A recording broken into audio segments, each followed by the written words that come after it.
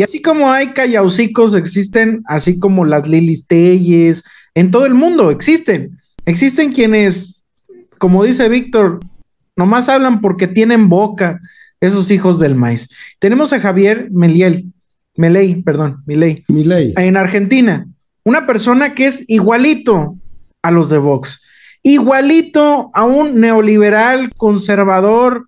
Bueno, es el claro ejemplo de lo que no se desea en ninguna parte del mundo. Es una persona que ha sido capaz de decir que la gente pobre se muere porque quiere y es pobre porque quiere. Que podrían vender su cuerpo y dijo en una entrevista, córtate un brazo y véndelo y así salvas a tus hijos.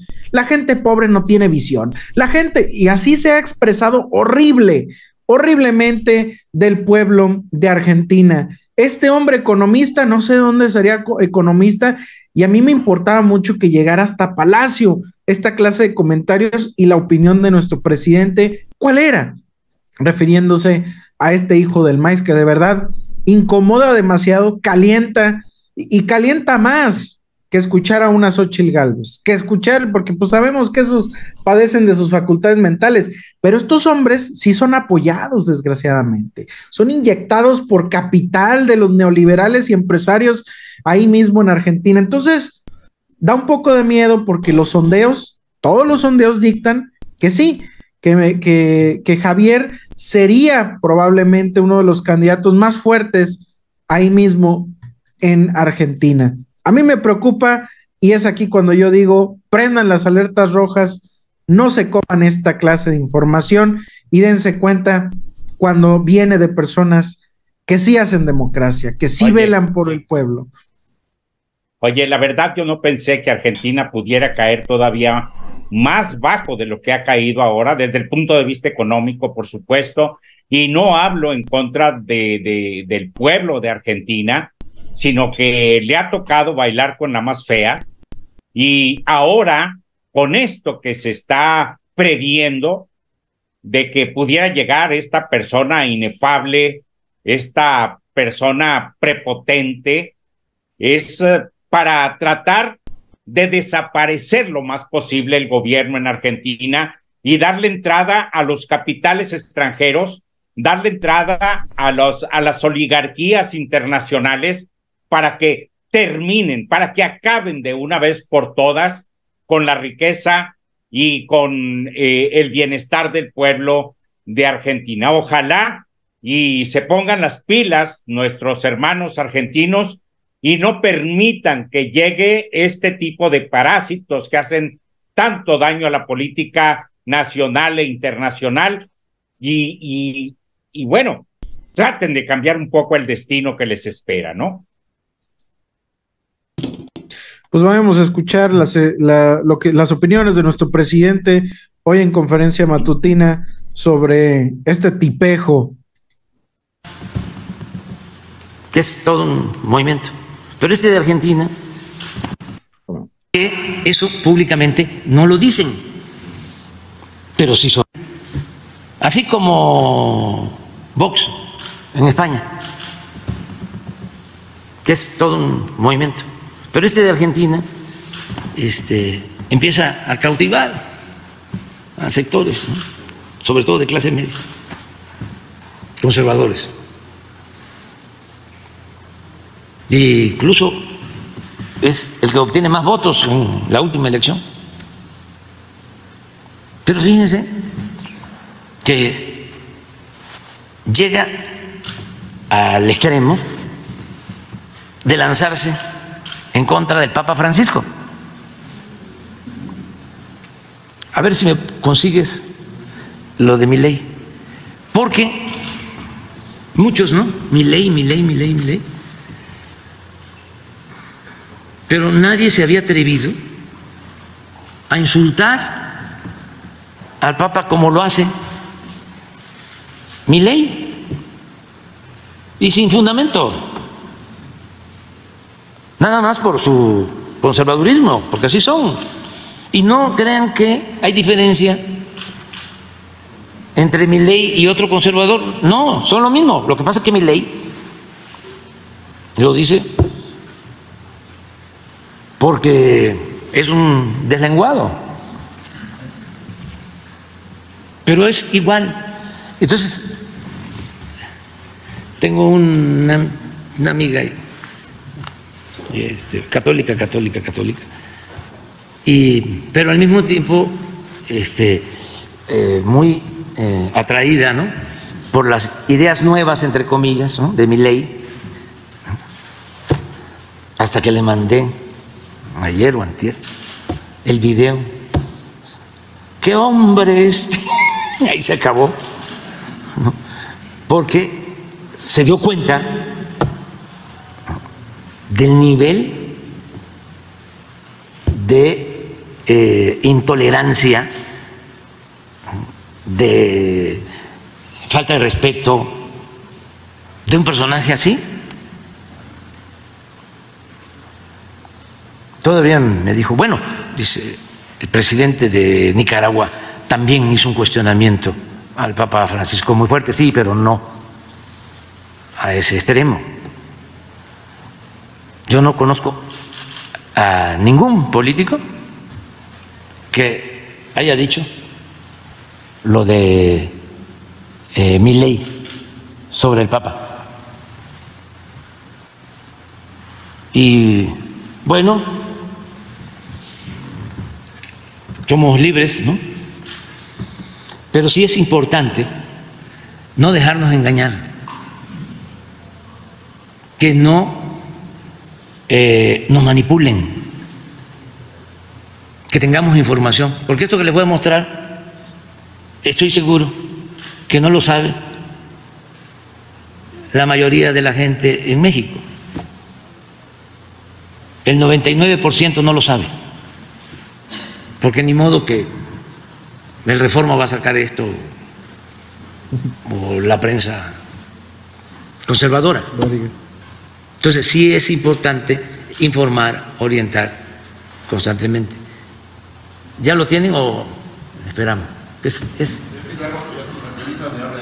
Le anuncio una entrevista, sí. Este, y ayuda mucho, pero es también para eh,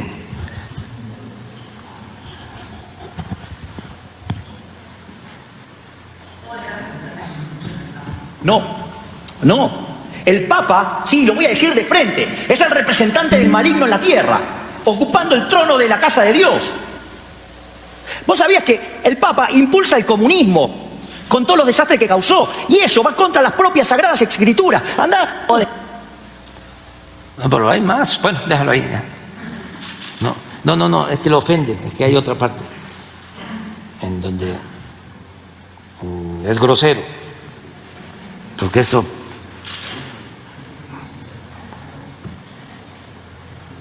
es la misma entrevista, ¿eh? nada más que es otro fragmento.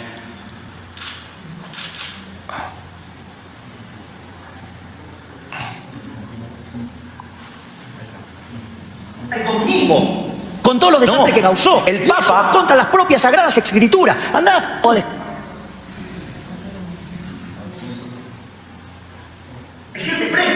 sí, lo voy a decir de frente. en la tierra, ocupando el trono de la casa de Dios.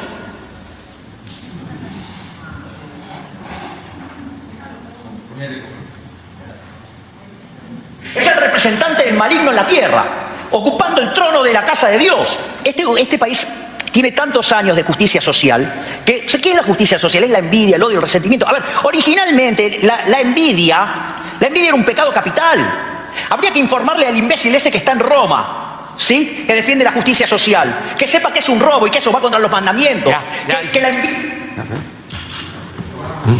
¿Eh? Por la censura y esas cosas. ¿Por la censura?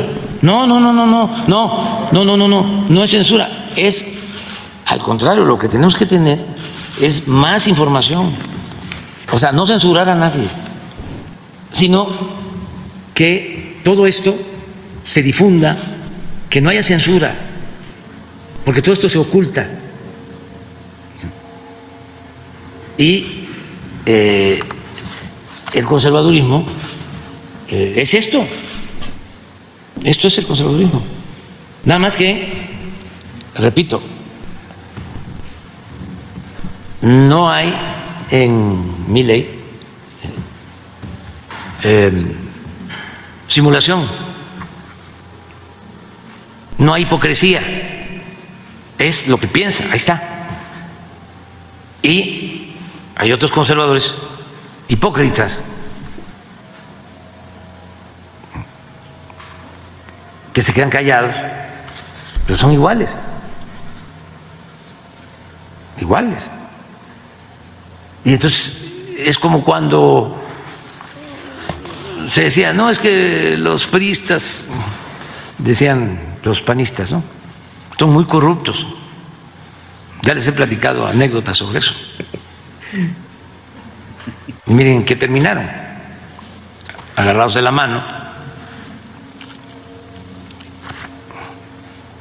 Y sí, eh, puede ser, no todos, de que los periodistas sean corruptos, pero los panistas también. La diferencia es que algunos periodistas son corruptos cínicos. Y también algunos panistas, no todos, son corruptos hipócritas.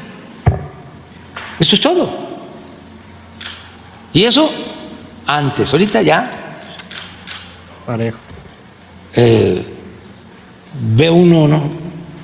A los pues bueno, estas fueron las expresiones de nuestro presidente respecto a Javier Meliel. Milei, perdón. Milei. Este personaje que de verdad lo hemos visto más de una vez en repudio constante hacia el pueblo, dice que les quiere quitar eh, pues el seguro, el seguro como sería acá, el seguro popular, les quiere quitar las ayudas a mayores, o sea, pues un prácticamente un un activista neoliberal, vamos a llamarle, alguien que va en contra de todo ayuda popular y dice, pues es que eh, venimos a la tierra a hacer dinero y a trabajar, no sé por qué la gente se distrae, pues igualita, igualita que, que Xochitl Galvez diciendo que México es una tierra de huevones, pues no, no dijo que también el sur, en el sur no, no iban a poder trabajar ocho horas, que ellos no estaban acostumbrados a trabajar eh, horarios laborales como se hacen en las ciudades, como si en el sur no hubiera empresas, como si en el sur no hubiera maquilas, como si en el sur no hubiera trabajos, como si en el sur... No, no, no, está pero malicísima informada y también este personaje que se nota ser prácticamente pues lo que es un neoliberal total o sería un representante de Pinochet. Yo les comentaba, veía un Twitter de él mismo que decía que si... Eh, pero aquí dice, si Perón hoy resucitara, diría que el partido que lo representa es Juntos por el Cambio, que es el partido de este mm. personaje. De verdad, qué chistes tan grandes dicen estos personajes. No, de verdad que burla. Mira, este charlatán que tenemos ahí en pantalla es producto de los medios de comunicación de allá de la Argentina, del diario El Clarín sobre todo. Aquí en México ya tuvimos muchos ley, pero como dice el presidente, hipócritas. Correcto. Navegaban con bandera de intelectuales, navegaban con bandera de que iban a ayudar a la gente y tuvimos un Carlos Salinas de Gortare. Tuvimos un Miguel, Miguel de la Madrid Hurtado que tuvo como 10 o 8 este, eh, devaluaciones en su momento. Digo, crisis económica, devaluaciones tuvo bastantitas. Tuvimos increíbles eh, ineptos iletrados, ignorantes, como Vicente Fox Quesada, producto de la televisión también. Luego vino, ese era un lefio, pero luego vino uno muy activo que decía que era muy intelectual y lo invitaba a López Dóriga, lo invitaba a Loret de Mola, le hacían preguntas de historia universal, de historia de México y todas se las sabía. Claro que le decían, le, le expresaban que le iban a preguntar. y fue el señor Calderón, que hizo atrocidades en este país, eran unos Milei. Luego vino un estupendo personaje creado y sacado de las telenovelas, el señor Enrique Peña Nieto y la gaviota. O sea, también nos tenían atontados, como hoy tienen, como hoy tienen a la sociedad argentina aprovechando la crisis económica impagable que dejó el señor Macri. La desilusión de los argentinos es grandísima. que cuando llega Alberto Fernández encuentra un país en quiebra y no lo ha podido sacar de la crisis todavía hasta el día de hoy. La desilusión de los argentinos es inmensa, que ya le tiran a lo que sea. Este sinvergüenza de la peluca. Y tiene peluca, sí saben que es igualito que yo. Es una gente calva, él y todos los días se pone esa peluca. Es un sinvergüenza que todavía no acepta su condición física y pues menos va a aceptar la situación de la Argentina de los más desprotegidos. Bueno, todo esto es creado por los medios de comunicación de aquel lado y como Alberto Fernández no ha podido hacer bien su trabajo en aquel lugar, pues este es el equivalente a Gilberto Lozano aquí en México, ese sinvergüenza, líder de frena, hagan de cuenta que es idéntico, son hechos con la misma tijera y cosidos con la misma aguja y con el mismo estambre, idénticos y el señor Verástegui pertenece a la línea del señor Milei, el cual es aplaudido por el señor Gilberto Lozano. Así que México no tiene las condiciones de tener charlatanes como este sinvergüenza, que desgraciadamente si ven ustedes videos de él, de veras, de veras, pobre de la Argentina. Pobre de la Argentina. Vittorio. Dice Hipólito eh, Venturero, es, espérame. Es, un asco que eh, los argentinos permitan que llegue un tipo de esta ralea. La verdad es que no tiene nada que ofrecer, piensa desaparecer alrededor de 11 secretarías de Estado para darle oportunidad al mercado, al libre mercado, de que entre y de que hagan su trabajo. Pero a través de qué? A través de neoliberales, a través de oportunistas, de empresarios, de empresas transnacionales y demás, que lo único que han hecho durante todo el tiempo con ayuda del Fondo Monetario Internacional, Banco Interamericano de Desarrollo, Banco Mundial y demás, porque todos van juntos, eh, buscan únicamente lo, eh, robarse o llevarse la riqueza de todos los países. Es lo que pretenden hacer. Este Milei no es más que un títere de la oligarquía nacional de, de, Argentina e internacional para lograr esos propósitos. Por eso digo que es un gusano que llega a hacer mucho daño al cuerpo político, económico y, y, moral de los argentinos. Carlos, Nefta.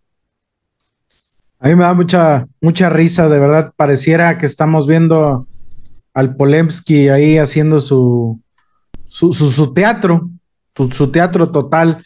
No, no me sorprendería que, que, que lo inyecten más dinero y más porque lo he visto decir cosas diciendo que los venezolanos no son pobres gracias a Estados Unidos, sino gracias al socialismo y al capitalismo, digo, al, socialismo y al comunismo, total. Y bueno, es esas de cuenta un aborto, vamos a decirlo así, un aborto de Pinochet, de Hitler, y bueno, también un aborto de aquellos que deciden el rumbo de los Estados Unidos y a quién ocasionarle un conflicto para cerrarle las, pues, pues, todas las, las lo que son sus comercios, todas las fronteras y los aranceles.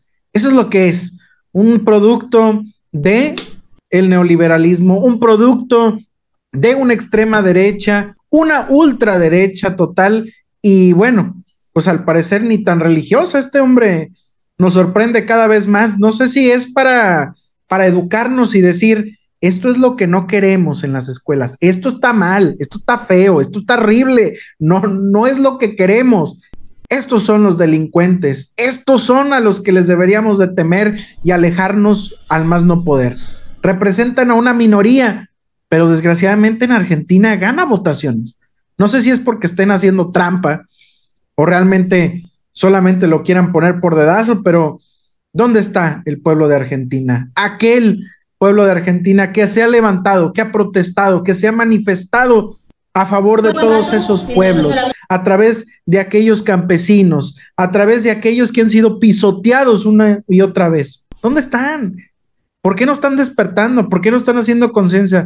Nefta, sí están, pero no hay libertad de expresión. Ah, ok, ya entendí.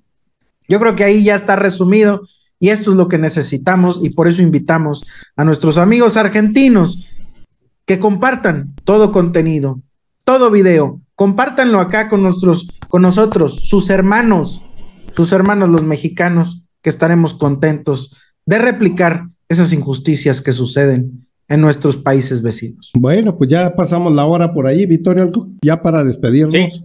Nada más dice Carl Litros. Ese ley parece reptiliano y estoy completamente de acuerdo con él.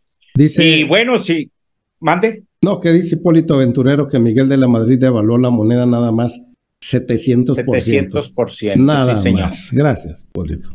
Sí.